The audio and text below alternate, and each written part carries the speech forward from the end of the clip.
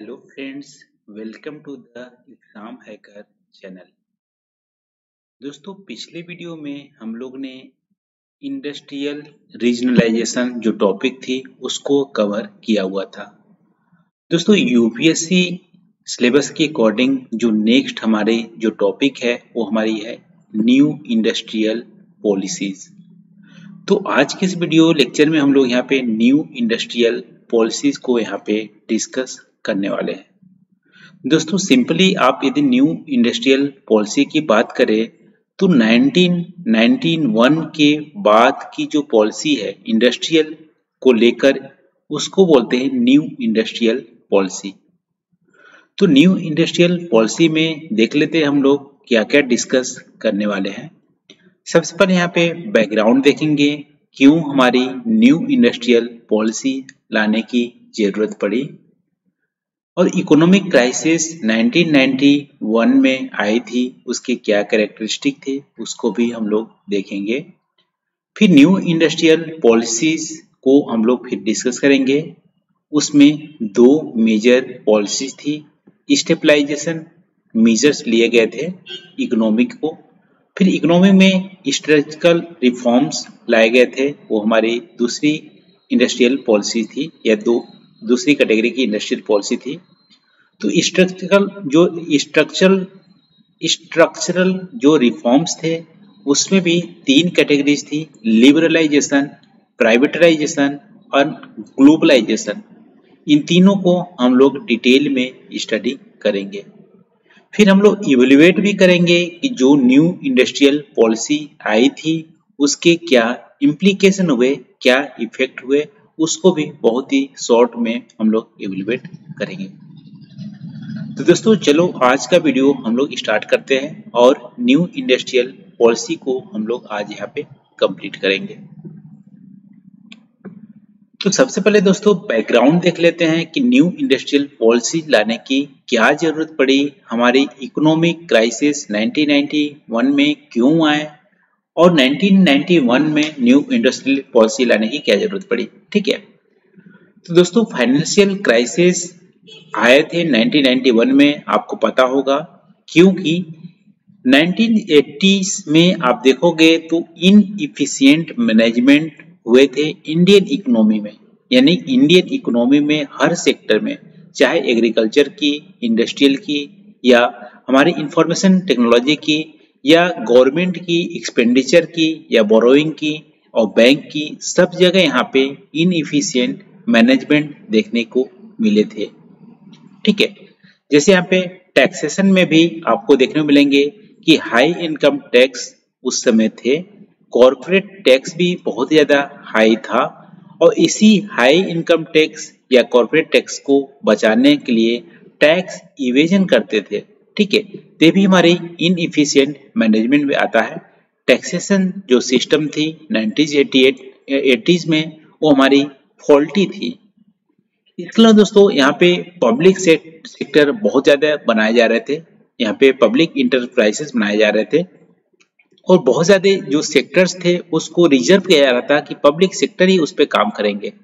इसकी वजह से आप देख सकते हो कि गवर्नमेंट इन पब्लिक सेक्टर में पैसे तो बहुत ही हैवी इन्वेस्ट की, लेकिन रिटर्न इनको नहीं मिला और यहाँ पे बहुत ज़्यादा इनइफिशियंट मैनेजमेंट देखने को मिले और पब्लिक सेक्टर उतनी अच्छी परफॉर्म नहीं की जितने इन्वेस्टमेंट किए गए थे। तो इसकी वजह से भी यहाँ पे आप देख सकते हो गवर्नमेंट को लॉसेस हुए।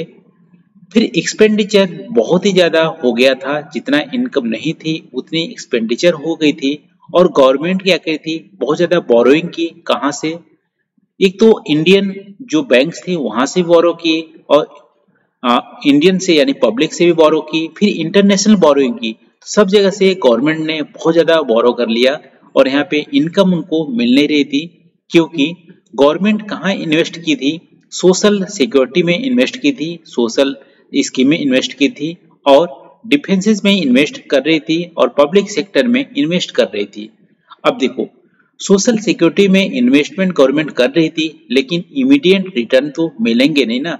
मान लो आप एजुकेशन में पॉवर्टी पॉवर्टी को हटाने में आप इन्वेस्ट करोगे, लेकिन इमीडिएट रिटर्न नहीं मिल रही थी, इसकी वजह से यहाँ पे घाटे चल रहे थे और डिफेंस में ज़्यादा एक्सपेंडिचर करेंगे, उसमें तो रिटर्न मिलेंगे नहीं। और पब्लिक सेक्टर में गवर्नमेंट इन्वेस्टमेंट कर रही थी पब्लिक सेक्टर घाटे में या इनएफिशिएंट बहुत ज़्यादा प्रॉफिट नहीं कर रही थी। तो यहाँ पे गवर्नमेंट को रेवेन्यू नहीं हो रहे थे एक्सपेंडिचर बहुत ज़्यादा बढ़ती जा रही थी। ठीक है? और गवर्नमेंट ने एक्सपोर्ट पे भी ज़्यादा ध्यान नहीं दिया फोकस नहीं किया कि हम एक्सपोर्ट करें और ग्लोबल मार्केट को कैप्चर करें। अब गवर्नमेंट एक्सपोर्ट नहीं करेगी तो उनके पास जो फॉरेक्स रिज़र्व थे, वो हमारे कम होते गए। ठीक है? तो यहाँ पे बैंक में डिफिसिट देखने मिली। इंटरनेशनल इंस्टीट्यूट से बहुत ज़्यादा बोरोइंग हुए और अनएम्प्लॉयमेंट बढ़ गए पॉवर्टी बढ़ती गई पॉपुलेशन एक्सप्लेशन होते गए ये सारे मेजर रीजन रिस्पॉन्सिबल थे। 1991 में इकोनॉमिक जब क्राइसिस आई थी। तो सभी जगह, सारे सेक्टर में आप देखोगे इनएफिशिएंट मैनेजमेंट देखने को मिला इकोनॉमी में। तो उसकी वजह से इकोनॉमिक क्राइसिस आई 1991 में। उसके लिए आप देख सकते हो गवर्नमेंट के पास इतने पैसे नहीं थे। गवर्नमेंट इतने ज़्यादा बोरो कर ली थी कि उनकी जो ईएमआई e चल रही थी, ठीक है लोन जो रिपेमेंट चल रही थी ईएमआई e चल रही थी। ईएमआई e देने के लिए भी गवर्नमेंट पास पैसे नहीं थे। ईएमआई को भी पेमेंट करने के लिए अदर बारो करने पड़ रहे थे। इतनी ज़्यादा बुरी हालत थी इंडियन गवर्नमेंट को 1991 में इंडिया की। तो फॉरेक्स जो एक्सचेंज रिज़र्व थे हमारे डिप्लीट हो गई थी, खत्म हो गई थी। ठीक है, हमारे पास इतने भी पैसे नहीं थे कि कल कल के लिए भी पेट्रोलियम को हम इंपोर्ट कर सके और ज़रूरत चीज़ों हम इंपोर्ट कर सके। तो सफिशियंट रिज़र्व नहीं था इंपोर्ट करने के लिए। इसेंशियल गुड्स जो प्राइजेस थे वो बहुत ज़्यादा बढ़ गए थे और इंटरनेशनल जो फंडिंग थी वो कोई भी इंटरनेशनल यानी कोई भी कंट्रीज़ या इंटरनेशनल जो इंस्टीट्यूशन होते हैं वो इंडिया को हेल्प करने के लिए आगे नहीं आ रहा था लेंड नहीं कर रहा था, उधार नहीं दे रहा था, क्योंकि हमारी स्थिति बहुत ही ज़्यादा बदतर हो गई थी 1991 में। तो इसी को बोलते हैं दोस्तों इकोनॉमिक क्राइसिस तो गवर्नमेंट ने क्या किया? उस समय आईएमएफ और वर्ल्ड बैंक के पास गई गवर्नमेंट और वहाँ गवर्नमेंट ने आईएमएफ ने क्या किया कि seven billion dollar immediate help दिया गवर्नमेंट को। यहाँ पे ज़रूरत की चीज़ें इंपोर्ट करने के लिए और यहाँ पे पेट्रोल वगैरह और ज़रूरत चीज़ इंपोर्ट करने के लिए। लेकिन साथ साथ आईएमएफ या वर्ल्ड और वर्ल्ड बैंक ने, दोनों ने यहाँ पे बहुत सारे सुधार लाने की प्रपोजल दिए गवर्नमेंट को कि इंडियन की इकोनॉमिक को आप ओपन करो। इंटरनेशनल जो कंपनीज़ है, उसके लिए ओपन करो लिबरलाइज करो और यहाँ पे लोकल में कंपटीशन लाओ। ठीक है? ट्रेड करो इंपोर्ट करने दो एक्सपोर्ट करो। ठीक है? ये सब चीज़ों को प्रपोजल दिया। तो गवर्नमेंट ने इसी प्रपोजल को ध्यान में रखते हुए यहाँ पे न्यू इंडस्ट्रियल पॉलिसीज़ या उसको न्यू इकोनॉमिक पॉलिसी भी बोलते हैं ये गवर्नमेंट ने लाई। तो आप बोल सकते हो, एक जो न्यू इंडस्ट्रियल पॉलिसी थी, एक सिंगल पॉलिसी नहीं थी, एक ग्रुप ऑफ़ पॉलिसी थी, जो हमारी पंद्रह साल तक चलती रही, ठीक है? तो 1991 से स्टार्ट हुआ, पंद्रह साल तक इसको इम्प्लीमेंट करने में टाइम लगा। तो ग्रुप ऑफ़ पॉलिसी थी, इसको इम्प्लीमेंट करने में। तो इस पॉलिसी को दोस्तों, दो कैटेगरी में हम डिवाइड कर सकते हैं। पहली कैटेगरी है हमारी स्टेबलाइजेशन इकोनॉमिक मेजर दूसरी है स्ट्रक्चरल स्ट्रक्चरल रिफॉर्म्स देखो, पहली में क्या था? स्टेबलाइजेशन इकोनॉमिक मेजर यानी जो हमारे इकोनॉमिक में टर्बुलेंस थे, उसको स्टेबलाइज करने के लिए जो पॉलिसी लाई गई तो स्टेबलाइजेशन जो पॉलिसी थी, हमारी शॉर्ट टर्म मेजर्स थी। यानी कि बहुत कम समय के लिए, नहीं इमीडिएट हमको आउटकम देने वाली पॉलिसी थी, जो हमारी वीकनेस थी इकोनॉमी में, उसको दूर करने के लिए। अब वीकनेस के बात करते हैं यहाँ पे, जैसे बैलेंस ऑफ़ पेमेंट हमारी गड़बड़ थी, उसको सुधारने के लिए यहाँ पे यहाँ पे मेजर्स लिए गए। सफिशियंट फॉरेक्स फॉरेन जो एक्सचेंज थी, उसको मेंटेन करने के लिए यहाँ पे स्टेप लिए गए। इन्फ्लेशन को कंट्रोल करने के लिए आरबीआई को यहाँ पे इंस्ट्रक्शन दिया गया। तो सारी चीज़ें जो इमीडिएट हमारी हेल्प हो सकती थी इकोनॉमी की स्टेबलाइज करने के लिए, उसको लाने के लिए स्टेबलाइजेशन मेजर्स लिए गए। अब दोस्तों, दूसरी जो यहाँ पे कैटेगरी इकोनॉमिक रिफॉर्म्स लाए गए, उसमें हमारा स्ट्रक्चरल रिफॉर्म्स था। अब देखो स्ट्रक्चरल रिफॉर्म्स का मतलब यहाँ पे लॉन्ग टर्म्स मेजर्स लिए गए इकोनॉमिक को यहाँ पे स्ट्रेंथन देने के लिए स्टेबलाइज करने के लिए इफिशियंसी लाने के लिए लॉन्ग टर्म से यहाँ पे मेजर्स लिए गए इंडस्ट्रीज़ की प्रोडक्शन बढ़ाने के लिए। तो यहाँ पे आप देख सकते हो कि जो लॉन्ग टर्म मेजर्स है, उसमें यहाँ पे कंपटीशन को बढ़ाने के लिए और यहाँ पे बैरियर को रिमूव करने के लिए और उसमें भी आप देखोगे तो तीन कैटेगरी है मेजर स्ट्रक्चरल रिफॉर्म में। पहला है लिबरलाइजेशन दूसरा है प्राइवेटाइजेशन तीसरी हमारी ग्लोबलाइजेशन ठीक है? तो स्ट्रक्चरल रिफॉर्म में तीन मेजर कैटेगरी इसमें है, एक एक करके हम लोग यहाँ पे डिस्कस कर लेते हैं। तो सबसे पहले चलते हैं लिबरलाइजेशन लिबरलाइजेशन में भी बहुत सारे पॉलिसीज़ लाए गए थे इस कैटेगरी के अंदर। पहला आप बोल सकते हो यहाँ पे deregulation of industrial sector industrial sector में जो रेगुलेशन किए गए थे, उसको डी रेगुलेट करने के लिए पॉलिसी लाई गई इसको हम लोग डिटेल में स्टडी करेंगे। फिर फाइनेंशियल सेक्टर में भी रिफॉर्म लाए गए बैंक में रिफॉर्म्स लाए गए टैक्स रिफॉर्म लाए गए फॉरेक्स एक्सचेंज रिफॉर्म लाए गए ट्रेड एंड इन्वेस्टमेंट पॉलिसी में रिफॉर्म्स लाए गए। तो लिबरलाइजेशन के अंदर भी आप देख सकते हो, बहुत सारे रिफॉर्म्स लाए गए हैं। इसको एक एक करके हम लोग यहाँ पे डिस्कस कर लेते हैं। तो सबसे पहले चलते हैं यहाँ पे deregulation of industrial sector देखो, पहले क्या होता था? 1991 से पहले क्या होता था? कि जो इंडस्ट्रीज़ थी, कोई भी इंटरप्रेन्योर जो थी, वो कोई भी इंडस्ट्रीज़ को ओपन करना चाहती थी तो सबसे पहले गवर्नमेंट के ऑफिसर से उसको परमिशन लेना होता था। यानी यहाँ पे लाइसेंसिंग वाला सिस्टम चलता था लाइसेंस राज चलता था। आपको कोई भी छोटी भी इंडस्ट्रीज़ आपको ओपन करनी हो तो गवर्नमेंट से आपको परमिशन लेनी पड़ेगी। यदि इंडस्ट्रीज़ को बंद भी करनी हो, तब पर भी गवर्नमेंट की परमिशन लेनी पड़ेगी। और इंडस्ट्रीज़ में मान लो आउटपुट आपको बढ़ानी है या घटानी है, तब पर भी गवर्नमेंट को गवर्नमेंट से परमिशन लेनी होती थी। तो यहाँ पे बहुत ज़्यादा रिस्ट्रिक्शन थे। यहाँ पे इंडस्ट्रियल लाइसेंसिंग पॉलिसी चलती थी। ठीक है? और भी इसके अलावा आप बोल सकते हो प्राइवेट सेक्टर थे। वो बहुत सारे बिज़नेस को स्टार्ट करने की परमिशन नहीं थी। उसमें सिर्फ़ गवर्नमेंट ही वहाँ पे बिज़नेस कर सकती थी। इसके अलावा बहुत सारे जो यहाँ पे प्रोडक्ट थे, वो सिर्फ़ स्मॉल स्केल इंडस्ट्रीज़ को अलाउड थी यहाँ पे लार्ज स्केल जो इंडस्ट्री थी, वो इसको प्रोड्यूस नहीं कर सकती थी।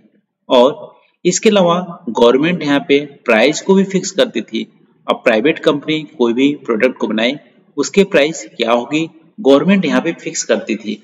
तो आप देख सकते हो यहाँ पे रेगुलेशन बहुत ही ज़्यादा था 1991 के बाद। तो इसको यहाँ पे डी रेगुलेट कर दी गवर्नमेंट तो 1991 में उसके बाद क्या किया यहाँ पे? कि जो इंडस्ट्रियल लाइसेंसिंग पॉलिसी थी, उसको एबोलिश कर दिया। सभी में एबोलिश कर दिया। यानी कि किसी भी बिज़नेस को स्टार्ट करने के लिए अब यहाँ पे गवर्नमेंट की परमिशन लेने की ज़रूरत नहीं थी। किसी भी बिज़नेस को बंद करने के लिए गवर्नमेंट की परमिशन लेने की ज़रूरत नहीं पड़ी। कुछ बिज़नेस को छोड़कर, जैसे मान लो एल्कोहल की यदि बिज़नेस करनी हो तो परमिशन लेनी पड़ेगी। Cigarette hazardous chemical pharmaceutical industries chemical industries aerospace industries ये सब इंडस्ट्रीज़ के लिए गवर्नमेंट से यहाँ पे परमिशन लेनी पड़ती थी। लेकिन इसके अलावा जो सिंपल जो इंडस्ट्रीज़ हैं जनरल यूजेस के लिए इंडस्ट्रीज़ हैं उसके लिए गवर्नमेंट को परमिशन नहीं लेनी होती थी। ठीक है तो यहाँ पे डी रेगुलेट कर दिया।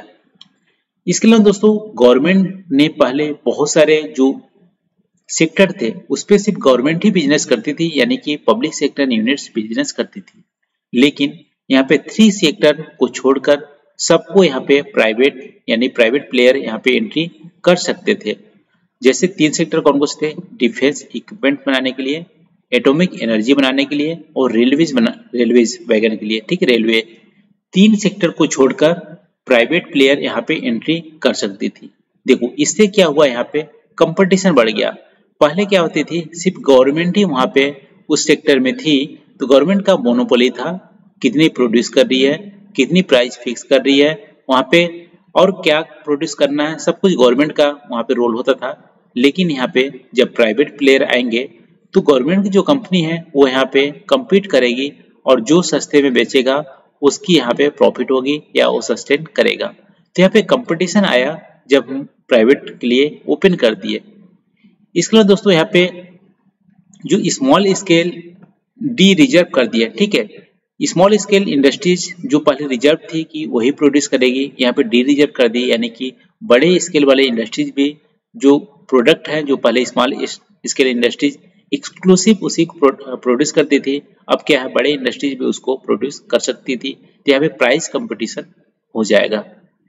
फिर देखो मार्केट को अलाउ किया कि आप कोई कोई भी आप गुड्स बना रहे हो तो यहाँ पे आप अपने अकॉर्डिंग प्राइस को फिक्स करो। मार्केट पे छोड़ दिया, ठीक है? पहले क्या होती थी गवर्नमेंट फिक्स करती थी। मान लो आप एक बिस्किट बनाए, बिस्किट की प्राइस क्या होगी? पहले गवर्नमेंट फिक्स करती थी। लेकिन यहाँ पे क्या है कि 1991 के बाद बिस्किट प्राइस क्या होगी, ये मार्केट बताएगा। मार्केट फिक्स करेगी गवर्नमेंट इसको फिक्स नहीं करेगी। तो यहाँ पे पहले जो कैटेगरी थी लिबरलाइजेशन में deregulation of industrial sector किया देखो दूसरी यहाँ पे कैटेगरी में फाइनेंशियल सेक्टर रिफॉर्म्स पहले आरबीआई क्या करती थी? बहुत ज़्यादा रेगुलेट करती थी बैंकों पे। ठीक है, बैंकों के जो एसएलआर होते थे सीआरआर होते थे, बहुत ज़्यादा हाई रेट होते थे, यानी कि सीआरआर आपको रिज़र्व करनी बैंक आरबीआई बहुत ज़्यादा रेगुलेट करती थी। उसकी वजह से जो बैंक थे, उनके पास पैसे बचते नहीं थे लैंड लैंड करने के लिए। और आरबीआई ये भी करती थी, किसको आपको लैंडिंग करना है, किसको नहीं करना है तो काफ़ी कुछ रेगुलेटर था। लेकिन 1991 के बाद यहाँ पे आरबीआई के रोल को रेगुलेट करने से छोड़ के इसको फैसिलेट करने के रोल पे यहाँ पे शिफ्ट किया। यानी कि आपको बैंक को फैसिलेट करना है कि आपको बिज़नेस कैसे करना है। बहुत ज़्यादा एक्सेस रेगुलेट नहीं करना है। काफ़ी कुछ बैंक अपना ओन डिसीज़न ले सकती थी, ले सकती है। 1991 के बाद ऐसा कुछ यहाँ पे प्रोविज़न किए गए। इसके अलावा दोस्तों यहाँ पे प्राइवेट सेक्टर की जो बैंक है, उसको भी बिज़नेस करने के लिए अलाउ किया गया। इसकी वजह से आप देख सकते हो इंडियन के भी प्राइवेट सेक्टर यहाँ पे इंटर किए और फॉरेन बैंक भी इंडिया में 1991 के बाद यहाँ पे आई, ठीक है? तो गवर्नमेंट ने यहाँ पे जो पहले अप्रूवल सबके लिए, सब चीज़ के लिए अप्रूवल लेना पड़ता था आरबीआई से, यहाँ पे क्या हुआ कि बहुत सारी चीज़ों को ऑटोनोमी दे गई बैंक अपना खुद डिसीज़न ले सकते हैं। इससे यहाँ पे बैंकिंग सेक्टर भी हमारे स्ट्रेंथन हुई और बैंकिंग सेक्टर में प्राइवेट बैंक भी आए फॉरेन बैंक आए इससे यहाँ पे कंपटीशन बढ़ी। ये हमारी फाइनेंशियल सेक्टर रिफॉर्म्स है। अब चलते हैं दोस्तों टैक्स रिफॉर्म्स में।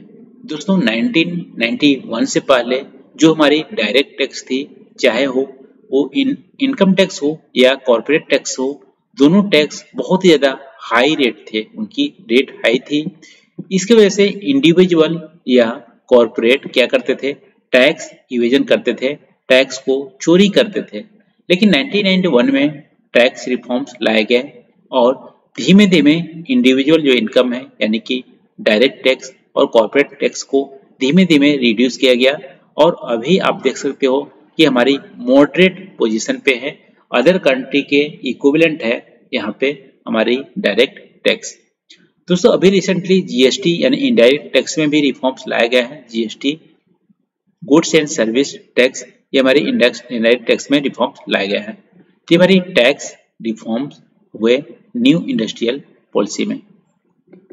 इसके अलावा दोस्तों फॉरेन एक्सचेंज रिफॉर्म्स भी लाए गए यहाँ पे।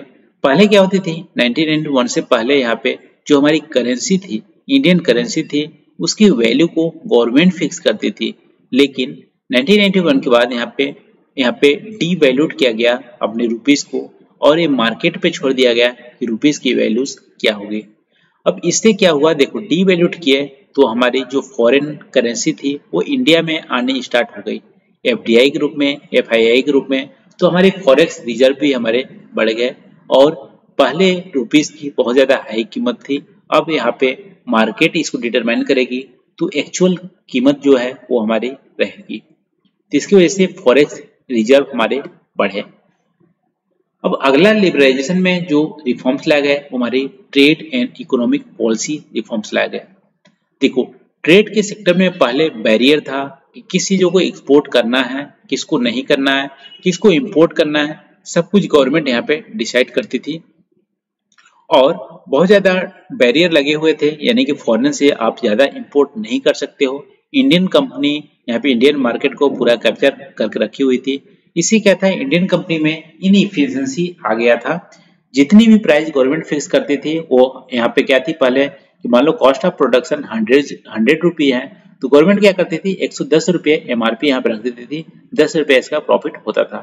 तो गवर्नमेंट कितना भी, यहाँ पे जो पब्लिक कंपनी थी या अदर कंपनी थी, कितना भी इनइफिशियंट काम करे, उसको प्रॉफिट होता ही होता था, और यहाँ पे लॉसेस किसको होते थे लॉसेस पब्लिक को होते थे। तो यहाँ पे क्या किया तो ओपन कर दिया ट्रेड एंड इकोनॉमिक पॉलिसी में रिफॉर्म्स लाया गया और इंटरनेशनल कंपटीशन यहाँ पे बढ़ गया यानी कि अब यहाँ पे इंपोर्ट भी कर सकते हैं एब्रोड से। उससे क्या होगा कि यहाँ पे जो मान लो आप बहुत ज़्यादा हाई प्राइस रखोगे इंडियन कंपनी हाई प्राइस रखेंगे और इंपोर्ट से सस्ते मिल रहे हैं हमें तो क्या करेंगे? पब्लिक क्या करेंगे? इंपोर्ट वाली चीज़ों को खरीदेगी। तो यहाँ पे कंपटीशन बढ़ गया। लेकिन गवर्नमेंट ने यहाँ पे कुछ लोकल जो इंडस्ट्रीज़ थी, उसको सेव करने के लिए यहाँ पे कुछ सेफगार्ड ड्यूटी भी लगाए और धीमे धीमे अपनी इकोनॉमी को यहाँ पे ओपन किया। अचानक यहाँ पे सारे चीज़ ओपन नहीं किए धीमे धीमे यहाँ पे ओपन किया। और एक्सपोर्ट ड्यूटीज़ पहले गवर्नमेंट लगाती थी, उसको भी रिमूव कर दिया गया। इससे क्या होंगे, जो इंडियन कंपनी है, वो यहाँ पे एक्सपोर्ट करने लगी एब्रॉड में और यहाँ से फॉरेन जो रिज़र्व थी, वो भी यहाँ पे बढ़ने लगे। दोस्तों लिबरलाइजेशन में जो लाई गई थी हमारी इंडस्ट्रियल पॉलिसी या इकोनॉमिक पॉलिसी वो थी। अब देख लेते हैं प्राइवेटाइजेशन तो आईएमएफ ने प्राइवेटाइजेशन भी करने को यहाँ पे सजेस्ट किया हुआ था, जो पहले बहुत सारे जो गवर्नमेंट कंपनीज़ थी पब्लिक इंटरप्राइजेस थे, वो घाटे चल रही थी इनएफिशिएंट थी। तो यहाँ पे गवर्नमेंट ने इसको क्या किया? प्राइवेट करने किया। ठीक है प्राइवेट करने के लिए दो तरीके अपनाए। पहला तो शेयर को डाउन करके, यानी डिस इन्वेस्टमेंट करके अपनी जो शेयर था, उसको 50 परसेंट से कम ले आना तो अब हमारी क्या हो जाएगी? प्राइवेट हो जाएगी। दूसरा था, बहुत सारे कंपनी को सेलिंग आउट करना, बेच देना। तो दो तरीकों से यहाँ पे जो पब्लिक यूनिट कंपनी थी पब्लिक इंटरप्राइजेस थी, उसको यहाँ पे प्राइवेट किया गया। इससे क्या होंगे कि जो प्राइवेट कंपनी इसको जो परचेज करेगी, वो क्या करेंगी? यहाँ पे इफिशियंसी आ गया मैनेजमेंट में प्रोडक्शन में भी। तो यहाँ पे और ज़्यादा इफिशियंसी आई दोस्तों, अगला जो इंडस्ट्रियल पॉलिसी में ग्लोबलाइजेशन भी यहाँ पे मेंशन है। ग्लोबलाइजेशन का मतलब यहाँ पे कि इंडियन इकोनॉमी को वर्ल्ड की इकोनॉमिक से इंटीग्रेट करना। यानी मान लो यूएसए या अदर यूरोप की जो इकोनॉमी है, उससे इंडियन की इकोनॉमी भी इंटीग्रेट रहेगी। तो क्या होगा कि यदि डिमांड बहुत ज़्यादा यूरोप में होती है तो यहाँ पे इंडिया से उसको सप्लाई किया जा सकता था। यदि इंडिया में मान लो एग्रीकल्चर की प्रोडक्ट नहीं अच्छी, नहीं हो रही है तो इसको इंपोर्ट भी किया जा सकता था। यानी कि यहाँ पे जो फ्लो है, यानी गुड्स एंड सर्विस का फ्लो है, उसको बॉर्डरलेस बनाना, ठीक है इंटीग्रेट करना एक दूसरे से। यहाँ पे क्या है? इसमें क्या क्या स्टेप लिया गया? यहाँ पे नेटवर्क्स बनाए गए कम्युनिकेशन का, और पोर्ट्स को इंटीग्रेट किया गया ट्रेड बैरियर को भी यहाँ पे हटाया गया, और इकोनॉमिक सोशल जियोग्राफिकल बाउंड्रीज को यहाँ पे धीमे धीमे इसको हटाया गया, ठीक है? यानी कि ट्रांसीडेंट किया गया। फिर क्या है? ग्लोबल, ग्लोबलाइजेशन का एक्चुअल मतलब है कि पूरे ग्लोबल में जो कंट्रीज़ है, वो बॉर्डरलेस एक वर्ल्ड बन जाए। ठीक है? ऐसा ग्लोबलाइजेशन का एम है। तो इसी को एम के आधार पे आप देख सकते हो कि इंडियन इकोनॉमी को अदर जो इकोनॉमीज थी, उससे जोड़ा गया। आज आप देख सकते हो कि यूएसए या यूरोप में कोई भी पॉलिसी चेंज होती है तो आपको इंडिया की इकोनॉमी में भी इफ़ेक्ट देखने को मिलते हैं। मान लो यूएसए का जो फेडरल बैंक है, यदि वहाँ पे रेट में चेंज करती है तो इंडियन के शेयर मार्केट में आप देख सकते हो उतराव चढ़ाव होता है। वैसे ही, मान लो वेस्ट एशिया में कहीं भी क्राइसिस आती है तो इंडिया में की इकोनॉमी में इफ़ेक्ट देखने को मिलते हैं। चाइना में यदि क्राइसिस आती है, तब पर भी इंडियन इकोनॉमी में इफ़ेक्ट देखने को मिलते हैं। तो आप बोल सकते हो ग्लोबलाइज आज हो गया है। इंडियन इकोनॉमी बहुत सारे जो कंट्रीज़ है ग्लोबल इकोनॉमिक्स है, उससे कनेक्टेड हो गए हैं। दोस्तों ग्लोबलाइजेशन में और आप बोल सकते हो आउटसोर्सिंग का एक प्रचलन चल गया था ट्रेंडिंग चल गया था, और बहुत सारे यूएसए जो कंपनीज़ थी इंडिया में आउटसोर्स करने लगी लीगल एडवाइस के लिए कंप्यूटर सर्विस के लिए एडवर्टाइजमेंट के लिए सिक्योरिटी के लिए, ये सारी चीज़ें आउटसोर्सिंग होने लगी। उससे भी हमारा इंडिया को यहाँ पे फ़ायदा हुआ इंडस्ट्रीज़ को यहाँ पे ज़्यादा काम मिले, ठीक है? ये हमारी ग्लोबलाइजेशन पॉलिसी के अंतर्गत आता है। दोस्तों, अभी हम लोग न्यू इंडस्ट्रियल पॉलिसी देखे 1991 के बाद हमारी यहाँ पे यहाँ पे लिबरलाइज किया गया प्राइवेटाइज किया गया ग्लोबलाइज किया गया एलपीजी रिफॉर्म्स लाया गया, उसी को बोलते हैं न्यू इंडस्ट्रियल पॉलिसी दोस्तों, इसको हम लोग डिटेल में अभी स्टडी कर लिया है, लेकिन इसको इवेल्युएट करते हैं कि हमारे इंडियन इकोनॉमी या इंडियन इंडस्ट्री में क्या इसका कुछ फ़ायदा हुआ कि नहीं हुआ? तो आप देख सकते हो दोस्तों, पहले हमारी 1991 से पहले एग्रीकल्चर की जो शेयर थी जीडीपी में बहुत ही ज़्यादा थी। लेकिन 1991 के बाद एग्रीकल्चर की ग्रोथ भी डिक्लाइन हुई और शेयर भी डिक्लाइन हुई यहाँ पे। तो यहाँ पे आप बोल सकते हो कि एलपीजी तो आया, लेकिन एग्रीकल्चर सेक्टर में कोई ज़्यादा मेजर यहाँ पे टेक्नोलॉजी नहीं आई, ना ही कुछ मेजर यहाँ पे इन्वेस्टमेंट हुआ। इसकी वजह से जो ट्रेंड्स थी एग्रीकल्चर की ग्रोथ में और उसके शेयर में वो हमारी डिक्लाइन हुई। ठीक है? फ़र्स्ट यहाँ पे एक हमारे ड्रॉबैक आप बोल सकते हो। मैन्युफैक्चरिंग सेक्टर की बात करें, यानी इंडस्ट्रीज़ की स्पेशली बात करें तो यहाँ पे फ्लक्चुएशन देखने को मिला, यानी कभी ग्रोथ अच्छी थी, कभी उतनी अच्छी नहीं थी। यानी कि मेजर चेंजेस आपको देखने को नहीं मिले यहाँ पे मैन्युफैक्चरिंग सेक्टर में। लेकिन यहाँ पे सर्विस सेक्टर की बात करें तो बहुत ही ज़्यादा यहाँ पे अप देखने को मिला सर्विस सेक्टर में। यानी अच्छी खासी ग्रोथ हमको देखने मिली सर्विस सेक्टर में। ठीक है? तो सर्विस सेक्टर हमारी अच्छी परफॉर्म की एलपीजी रिफॉर्म के बाद, लेकिन मैन्युफैक्चरिंग थोड़ा मीडियम परफॉर्म की एग्रीकल्चर यहाँ पे डिक्लाइन देखने को मिला। तो तीनों सेक्टर इकोनॉमी में आप देख सकते हो एलपीजी रिफॉर्म के बाद या न्यू इंडस्ट्रियल पॉलिसी के बाद हमारी फिर क्या थी? दोस्तों अदर आप बोल सकते हो बैलेंस ऑफ़ पेमेंट तो 1991 के बाद आप देखोगे तो फॉरेस्ट रिज़र्व हमारे पास बहुत ही ज़्यादा, यानी अच्छे मात्रा में 1991 के बाद हमारे रिज़र्व थी। और अभी आप देख सकते हो कि हमारे पास मेजर जो इंडिया है मेजर रिजर्वर है फॉरेक्स रिज़र्व का। हमारे पास अभी 400 बिलियन डॉलर से ज़्यादा फॉरेस्ट की रिज़र्व है। ठीक है सफिशियंट रिज़र्व आपको 1991 के बाद देखा गया।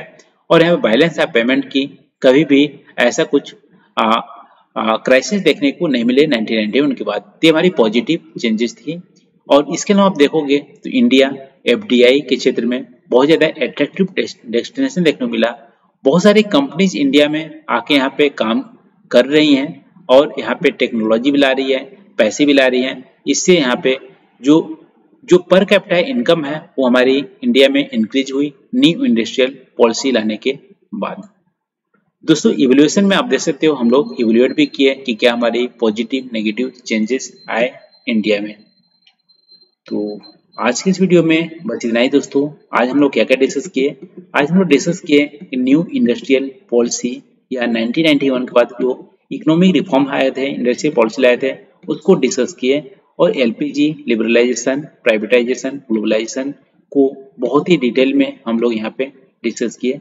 साथ साथ 1991 में इकोनॉमिक क्राइसिस क्यों आए थे उसका भी रीजन हम लोग यहाँ पे डिस्कस किए। तो आज के लिए बस इतना ही दोस्तों। Thank you for watching I hope आपको वीडियो पसंद आया होगा और कुछ यहाँ पे नया सीखने को मिला होगा। तो थैंक यू फॉर वॉचिंग मिलते हैं अगले वीडियो में नए टॉपिक साथ। Thank you